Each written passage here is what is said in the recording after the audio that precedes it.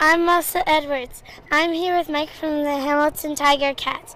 I would like to ask him a few questions. First, how long did it take you to grow your beard? Oof, I've been growing this baby since uh, 2012.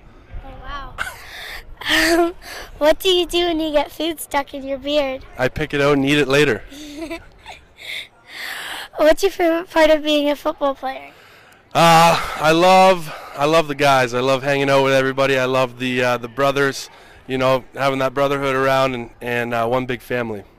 Nice. How does it feel to have all that gear on during games and practices? It gets really hot, really hot. Oh, wow.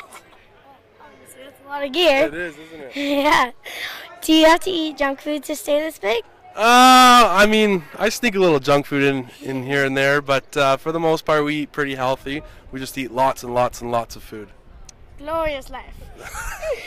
Speaking of junk food, would you like some cotton candy? Oh, I might have some of that. Are You gonna give me some? Yeah? Let's do it. All right, awesomeness. Hmm. Going for seconds? Ah, a little few. It's cheat day, right? Oh. I can't fit it all. You think you could eat that whole thing? I have to eat before I go home. Or my mom's gonna kill me and my dad.